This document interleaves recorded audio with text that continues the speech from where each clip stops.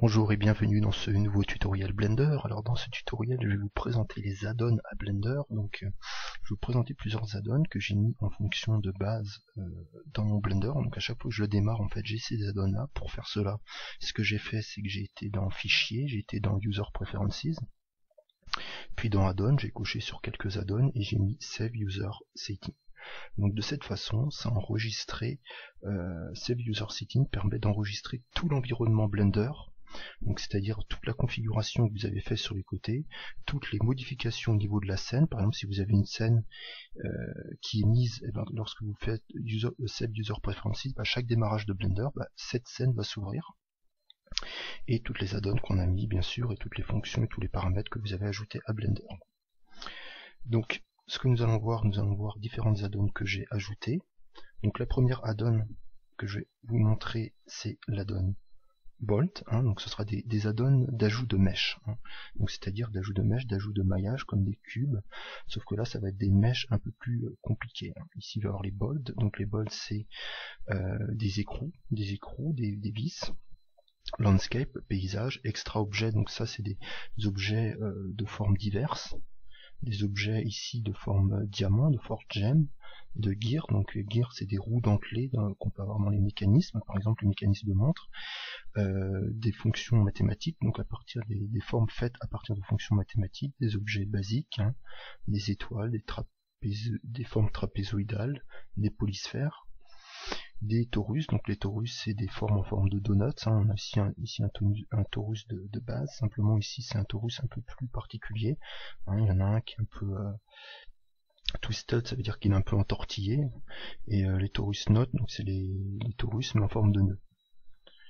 Et euh, bon voilà, donc là il y a des, des pyramides, donc ici on a des, des steps pyramides, donc ça veut dire des pyramides en forme d'escalier comme les pyramides aztèques. Je peux vous montrer d'ailleurs tout de suite, vous voyez, comme ceci. Voilà. Donc on va revenir sur sur cette fonction un peu plus euh, un peu plus tard. Voilà. Donc on va commencer par les volts. Donc ici vous voyez, ça m'a fait une vis. Mais si j'ai envie de, de, faire un écrou, bah, je, vais, je clique ici. vous voyez ici j'ai un paramètre, j'ai une en bas ici j'ai une fenêtre qui me permet de modifier justement cet élément. Il y a ça pour tous les types d'objets, pour tous les types. Mais simplement, si je bouge cet objet, si je fais une modification, tout disparaît. Hein. Et dans ces cas-là, on n'a pas d'autre option que de le supprimer d'en créer un autre. Hein.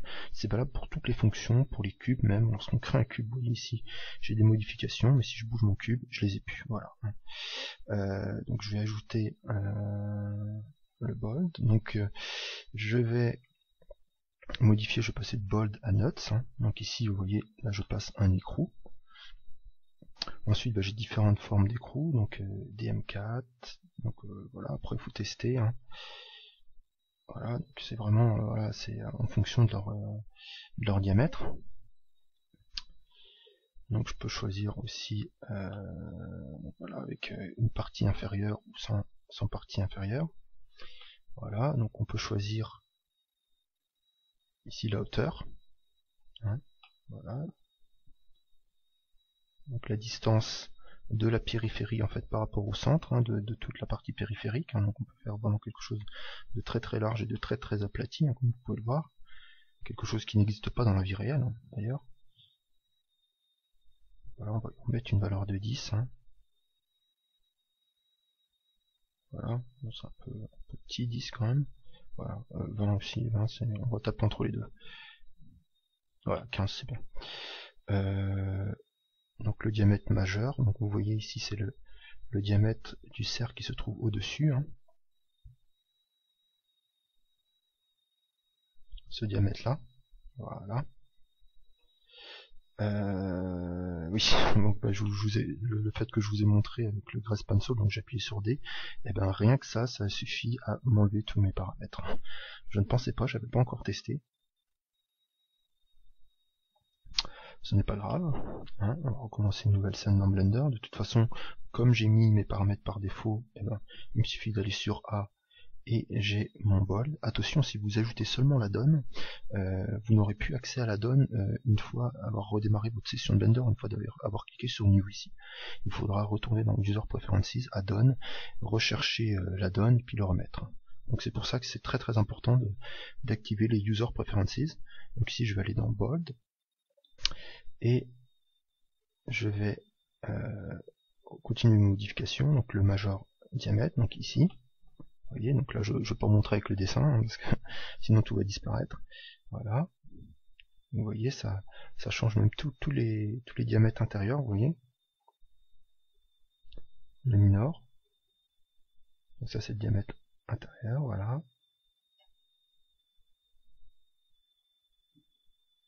Donc voilà le, pitch. Donc le pitch, vous voyez, c'est l'entortillement à l'intérieur. Hein. Donc plus vous augmentez,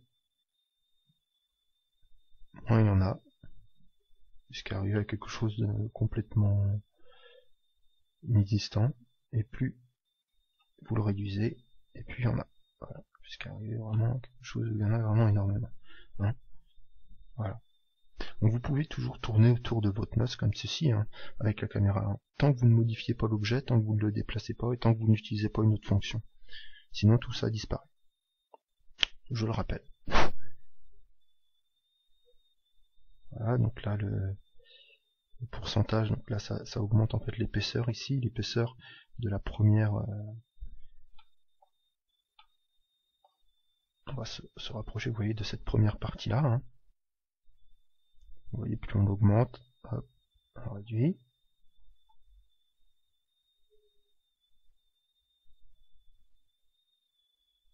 Ça, c'est à peu près la même fonction. Et voilà, et route, en fait, pourcentage, c'est euh, l'épaisseur, en fait, du, du filetage. Voilà. Donc ça, je le rappelle, ça c'est des add-ons qui n'ont pas été développés par euh, les utilisateurs, euh, qui, justement, qui ont été, qui ont été développés par les utilisateurs de Blender et pas par ceux qui l'ont programmé. Hein. Donc c'est des personnes, c'est une personne, par exemple, qui, qui peut avoir ça au niveau professionnel. Par exemple, quelqu'un qui est dans la charpente métallique, ou moi j'étais dans la métallerie, euh, avant j'étais dessinateur en métallerie, j'aurais eu par exemple besoin d'un outil comme ça, justement, pour pouvoir créer mes pièces. Donc voilà pour cet add-on. Hein. Bon, bah, après, euh, si on passe en, en c'est exactement pareil. Parce vous allez avoir d'autres euh, parties, mais vous voyez, c'est la même chose. Hein. Donc voilà pour cet add-on. Hein. Maintenant, on va passer au landscape. Donc cet add-on, euh, je vous le dis juste pour... c'est il s'appelle Ant, Ant Landscape, ici. Voilà.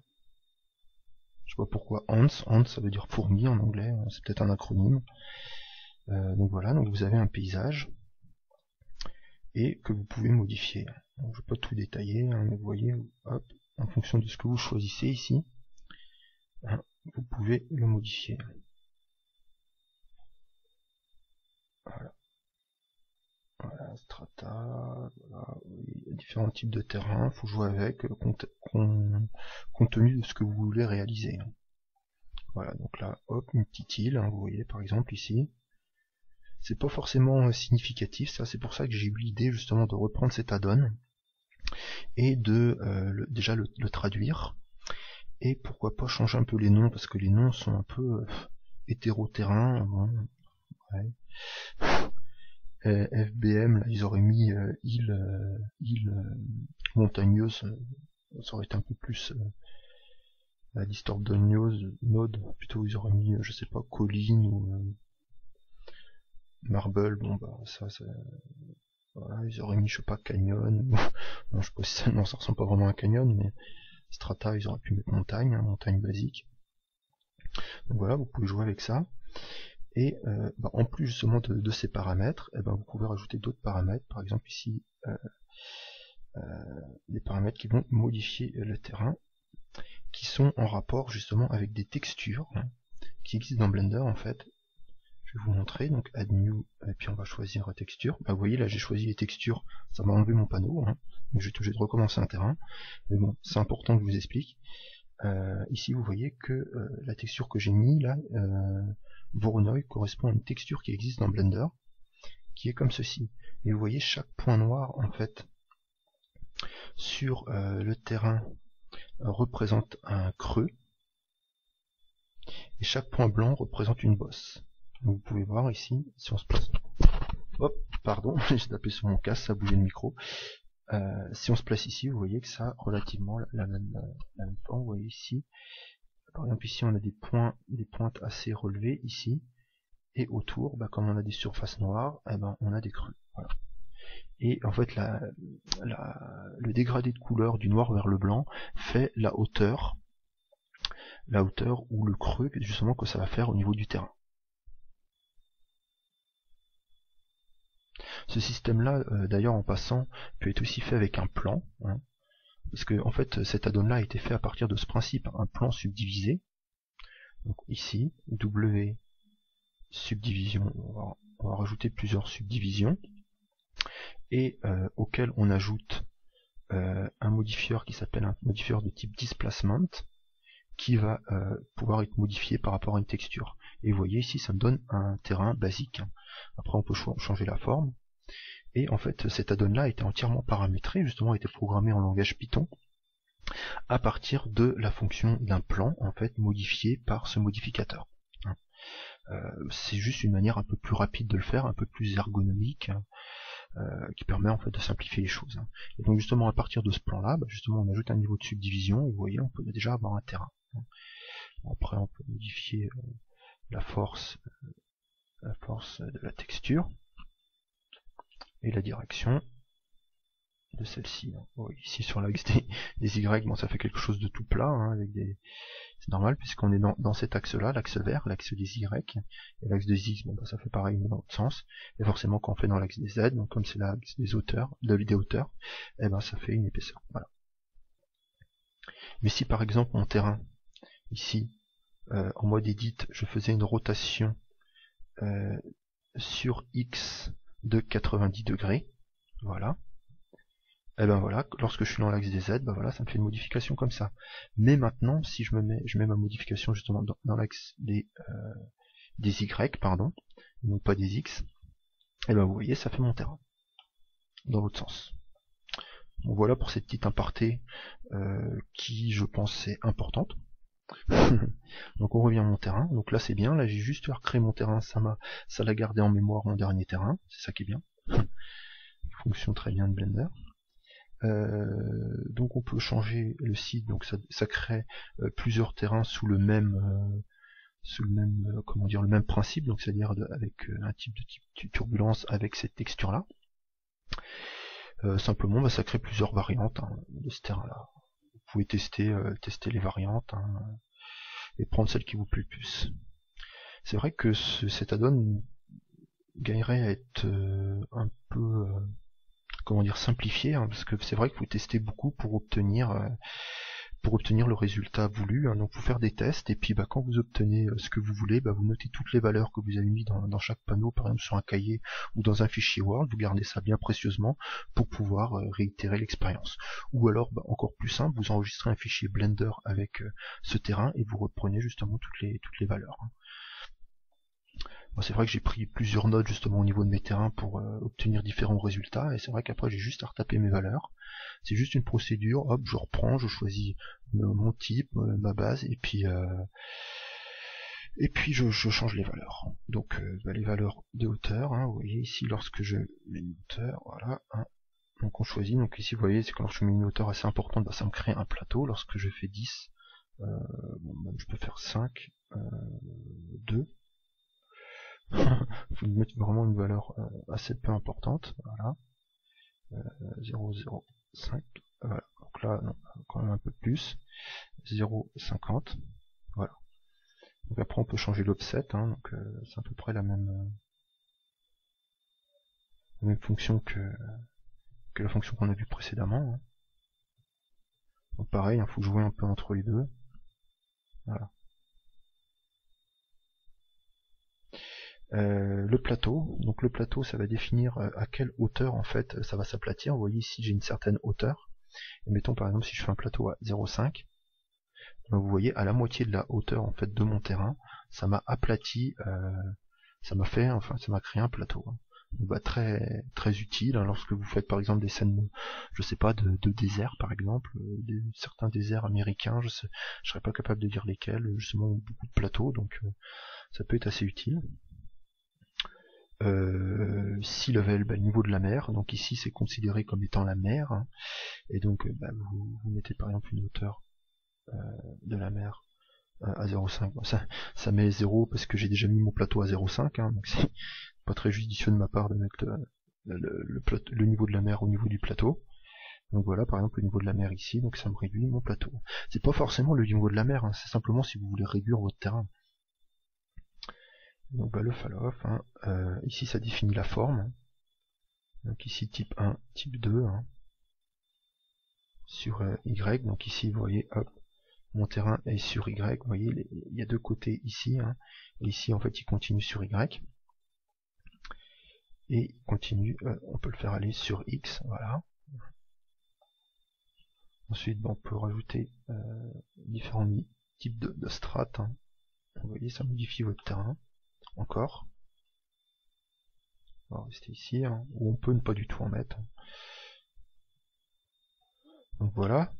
Donc une dernière chose au niveau du terrain, bah, j'ai repassé au niveau du fall off par exemple X. Ça peut être intéressant si vous utilisez par exemple un modificateur de type array. Donc ici vous voyez ça crée 2. Mais vous pouvez mettre par exemple 0 et euh, mettre un 1 ici, hop, et euh, modifier, enfin, allonger votre terrain. Euh, par exemple, pour mettre 10, euh, mettons. Pour faire une grande fissure, une grande chaîne de, une grande chaîne, bon, ça sera un peu répétitif, mais bon, ça vous permet d'avoir, d'avoir déjà un paysage qui se relie. Bon, après, il y a des petites erreurs, vous voyez, entre modèles. Donc ça, ça peut être modifié assez aisément. Hein. C'est, vous prenez votre modèle de base et en fait, bah, vous euh, sélectionnez tous ces points. Vous pouvez par exemple déplacer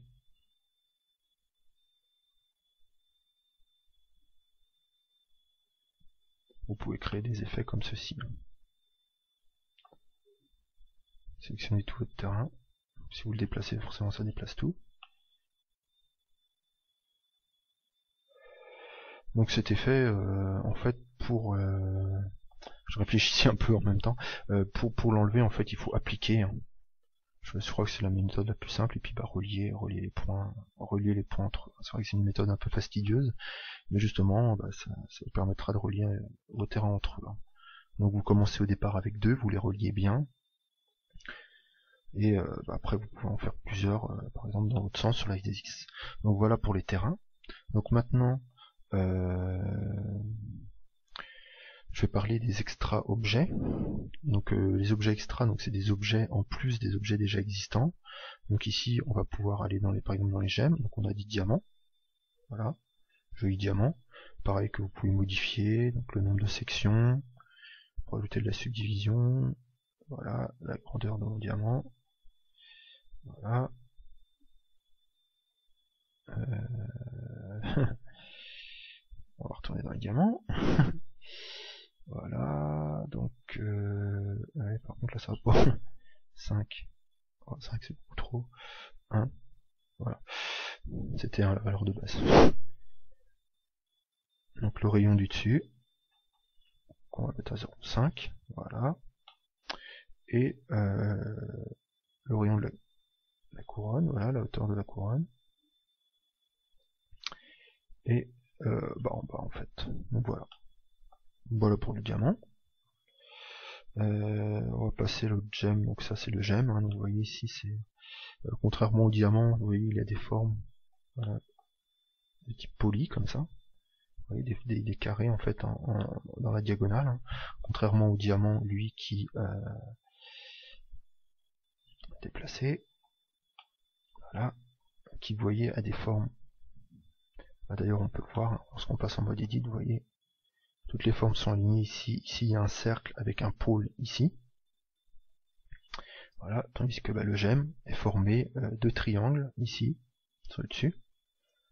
Bah, un peu, oui, ici aussi, il y a des triangles si vous voulez, mais ils sont beaucoup plus petits. Mais euh, ici, vous voyez, c'est beaucoup plus grand et euh, il y a beaucoup moins de polygones aussi. Hein. donc ça peut avoir des effets intéressants parce que si par exemple donc ici on n'a pas du tout pareil, hein, donc il faut surtout pas mettre de subdivision, je suis désolé. Non, je pensais que ça allait faire la même chose en fait entre les deux, mais non. Non, non, parce que c'est dû à la topologie de l'objet qui, empêche justement d'avoir exactement la même chose. Euh, donc bah, des, des, utilisations différentes. donc euh, principalement utilisé pour faire des métaux précieux. Donc oui, euh, juste une chose au niveau des gemmes, bah, on, a la, même chose, hein. le rayon, le dessus, la hauteur, voilà. Hein. On peut même créer des objets complètement différents. Vous voyez, si on fait une hauteur vraiment euh, beaucoup plus euh, importante, bah, par exemple, on peut créer, je sais pas, une sorte de bâtiment même avec. Vous voyez ici, par exemple, pour peu qu'on mette euh, la hauteur du pavillon, mettons, on la met à zéro. Vous voyez ici, j'ai une sorte de bâtiment un peu futuriste. Hein. en quelque sorte, je peux augmenter le rayon de base ou le réduire. Hein. On peut on peut mettre le même rayon en haut et en bas. Et euh, par exemple, non pas baisser, mais augmenter justement le nombre de segments. Et vous voyez, j'ai quasiment un cylindre, mais un cylindre justement avec des côtés comme ceci. Tout est entièrement modifiable dans Blender. Hein. C'est pas parce que c'est marqué diamant ou c'est pas parce que c'est marqué euh, j'aime que, que ça sert forcément à ça. Il faut il faut bidouiller. C'est en bidouillant justement qu'on trouve les trucs les plus intéressants. Donc euh, les gears. Donc comme j'ai dit, les roues dentelées. Donc là, il y a énormément de choses. Hein. Donc ici, number of teeth, nombre de dents. Hein. Il y en a 12 à la base, je vais en mettre 100. voilà. Donc non, faut pas en mettre 100, on en met 50. Enfin, ouais, c'est bien. Voilà. Le rayon. Voilà. La hauteur. La base. Un peu le centre. Le dendénium, je sais pas ce que c'est. D'accord, bah c'est le tout en fait.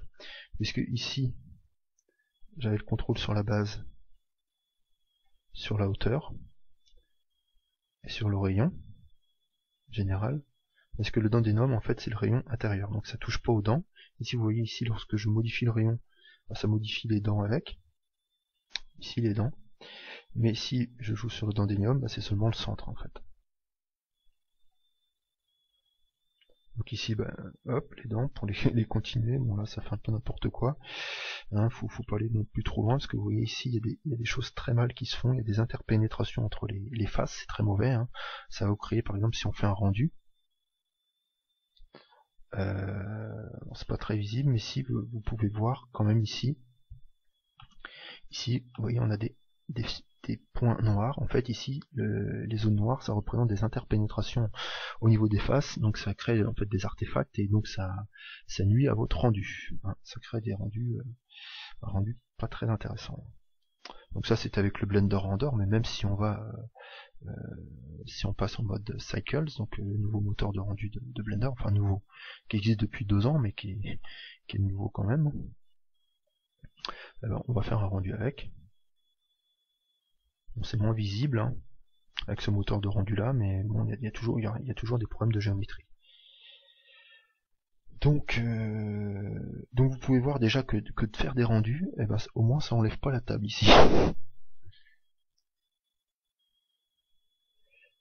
Donc on va revenir à quelque chose hein, de plus... Voilà, comme ça c'est bien. Donc ici, je suis désolé, je sais pas à quoi ça correspond. Ah si, pardon.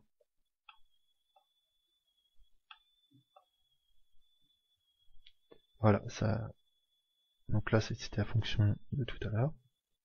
Vous voyez ici, ça modifie l'angle en fait. L'angle ici qu'on a ici, donc je vais passer en vue de dessus, ça va être beaucoup plus visible. Je vais me focaliser, donc hop, donc je fais tab pour me déplacer ici. Je vais me focaliser sur une dent, celle-ci par exemple, et euh, je vais changer l'angle. Vous voyez ici, l'angle euh, se modifie. Donc ici, bah, ça c'est la, rotation des dents. Hein. enfin la rotation de, tout en fait. Donc vous pouvez créer par exemple en comme ceci, quelque chose de vrillé, comme une sorte de vis. C'est un effet que très intéressant, que je ne connaissais pas avant ce tuto.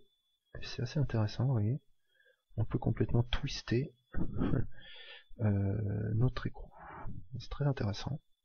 Voilà, donc euh, cône, bah forcément ça transforme en forme de cône. Hein. Donc ça peut être intéressant, des, fois pour créer euh, certaines formes mécaniques peuvent ressembler à ça.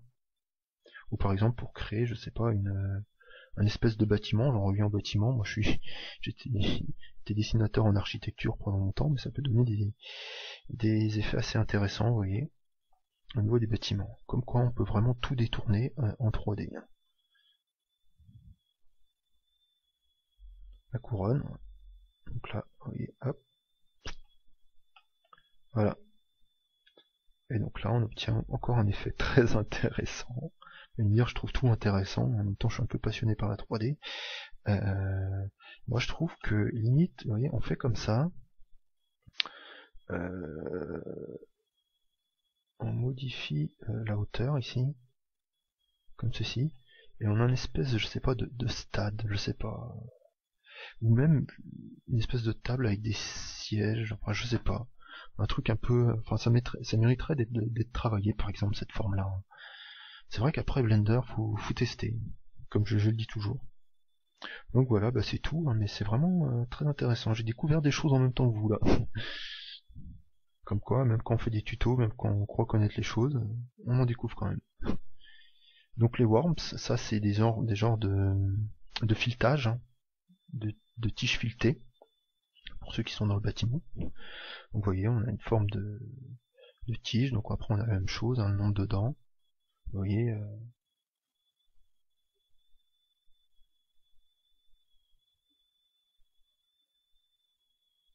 Alors, euh, il y a un effet intéressant là, c'est que lorsque j'augmente le nombre de dents, après 12 en fait, ça en crée qu'une. Ça peut